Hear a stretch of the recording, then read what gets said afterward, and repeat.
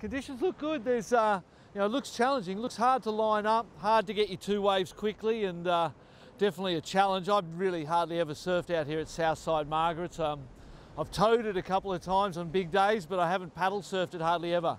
So it's going to be uh, an interesting experiment, really, and hopefully I don't let the boys down.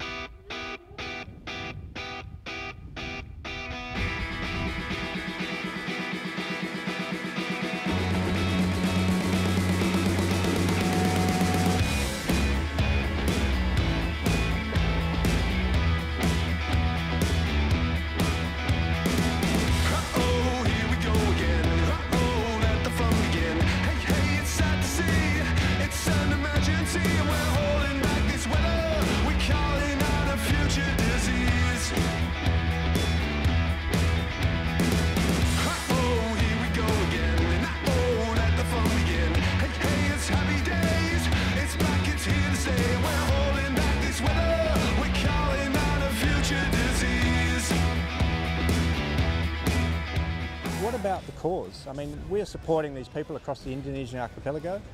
We're getting them clean water. We're looking at mother and child health. Infant mortality is coming down in the villages that they're in. The numbers are great. And I tell you what, the numbers of fundraising that we're getting is even better. Good, good cause, Surf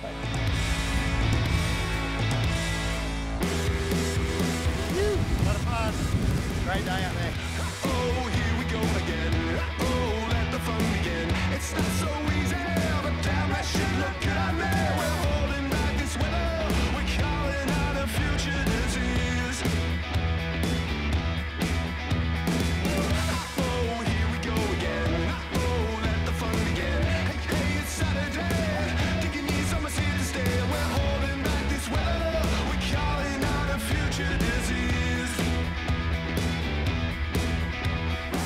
We love getting involved in the SurfAid Cup. Um, from Surfing WA's point of view, it's a great event and it goes to an awesome cause, so uh, why wouldn't we be involved?